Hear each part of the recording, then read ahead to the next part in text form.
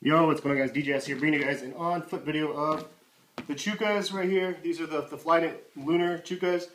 And, uh, man, I gotta say, I didn't really like them like that much from the, the pictures of them. But uh, seeing them in person, like honestly, well, to be honest, I didn't really like them when I saw them in person either until I tried them on. And then I actually thought they looked pretty fresh on feet, as well as uh, they're just super crazy comfortable. Like, the cushioning on these things are just crazy nice. Um, I don't know, man. Not much to be said other than that. Like, they're just really, really, really comfortable. And definitely don't regret picking these up. I got these in a 9. I usually wear 9 and 9 and a half. All they had left was a 9, so I ended up picking it up. But, man, uh, definitely happy with it. I got them for 85 They retail at 170 So I was really, really happy that I got them for, for that price.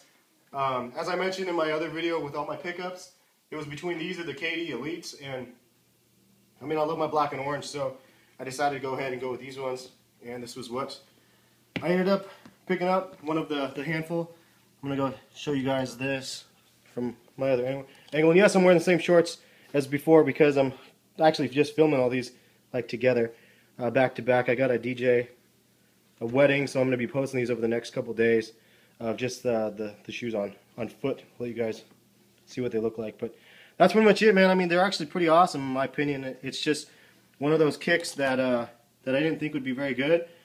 And when I saw them and tried them on, they're just so comfy. I was like, yep, definitely, uh, definitely really glad I picked them up. So that's pretty much it on foot. Chukka, let me know if you guys like these kicks or not, if you guys are a fan of the Flyknits. It seems like there's actually a pretty good following of people that like the Flyknits.